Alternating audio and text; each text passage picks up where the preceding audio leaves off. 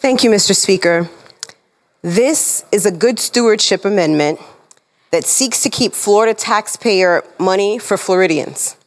Specifically, the amendment takes away the $12 million allocated to the program that enables Florida law enforcement and agents to enter into the jurisdiction of other states to profile immigrant looking individuals and families who the federal government has expressly and legally authorized to be in this country.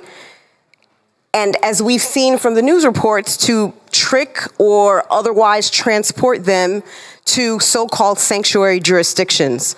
I believe the state taxpayer money should be used for the benefit of Floridians.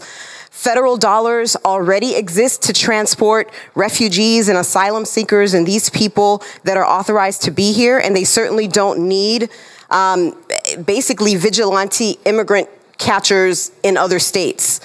This amendment takes that $12 million that's allocated um, to basically hunt down immigrants in other states outside of Florida and instead use that money for the benefit of Floridians as part of the Hurricane Ian and Nicole Recovery Grant Program. That is the amendment, Mr. Speaker.